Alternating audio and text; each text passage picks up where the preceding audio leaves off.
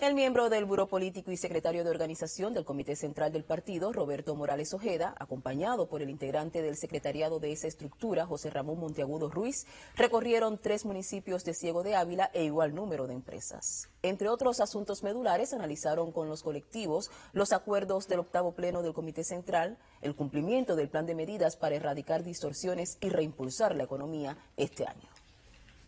En el Polo Productivo La Cuba, el miembro del Buró Político y secretario de organización del Comité Central del Partido, Roberto Morales Ojeda, junto al miembro del secretariado José Ramón Monteagudo Ruiz y la dirección de la provincia, intercambiaron con el campesino José Manuel Gorgoy de la CCS Máximo Gómez sobre el fomento del plátano estradenso de la variedad FIA 04 con un rendimiento de las 50 toneladas por hectárea, primera vez logrado en la provincia. En el encuentro se corroboró el compromiso de los colectivos del municipio de Baraguá de llegar a las 1.500 hectáreas del plátano durante el presente año para el balance nacional de la vianda, programa que dependerá de una recuperación gradual de ese emporio productivo planificado para el 2026. La diversificación con el uso de los adelantos científicos fue otro de los temas abordados en el análisis de la producción de hortalizas y vegetales donde debe prevalecer, apuntó Morales Ojeda, el salario de los trabajadores sujetos a los resultados finales de las cosechas dentro de un ambiente creador con la integración de todos los factores comunitarios para que cada destino se cumpla a cabalidad.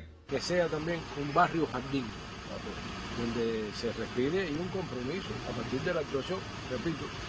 de todas las organizaciones pasando por los núcleos del partido, los militantes por zonas de residencia, el papel de los CDR, de la federación, el papel de la circunscripción con el grupo de trabajo comunitario, el grupo de prevención. No sé cuánto desvinculado del estudio del trabajo podemos tener en este, en este barrio, pero debe ser poco y los que nos queden tenemos que darle opciones de empleo.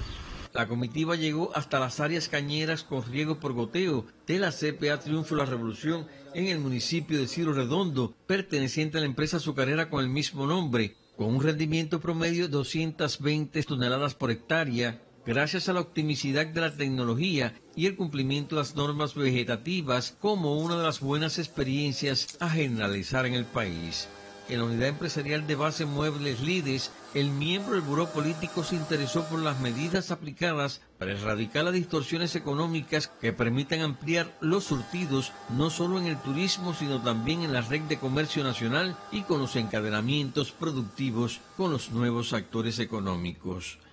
El recorrido por la unidad comercializadora y el centro de novillas de la empresa agropecuaria Ruta Invasora sobresalió el esfuerzo que realiza el colectivo por mantener las ofertas hacia el turismo para la sustitución de importaciones y la población, además de las alternativas genéticas que aplican para mantener el cumplimiento del plan de leche, entidad que lo logró a partir del presente año. Osvaldo Sánchez Naranjo, Canal Cubano de Noticias.